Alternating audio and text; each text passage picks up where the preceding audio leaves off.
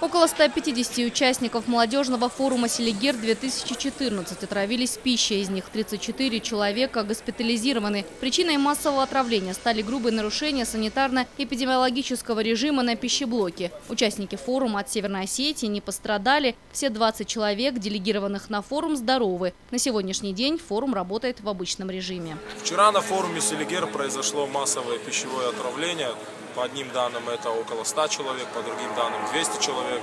В итоге точно никто не может сказать, но с уверенностью можем заявить то, что э, из осетинской делегации никто не пострадал, все живы-здоровы. По-моему, даже никто не ел эту еду, поэтому переживать не стоит.